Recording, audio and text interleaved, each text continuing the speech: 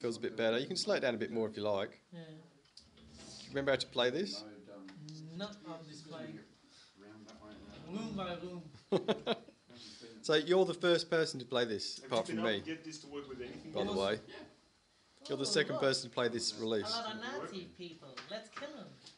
No, it's a single cable. You need to go and get the machine gun, Yeah. which is, I think, yeah, around there somewhere. Doesn't work. Even kill the dark side. You go through, it go up there, and go right, right, no, no, right. You go through that door there, yeah, back, that one. Oh, this one. Don't forget you can strafe, yeah, kill that guy, kill him, and there's another guy on the left. Go f always getting shot. Oh yeah, that's right. Uh, yeah, it's someone's laptop. There you go. So we Don't mind me asking how long it took you to, to port all these guys?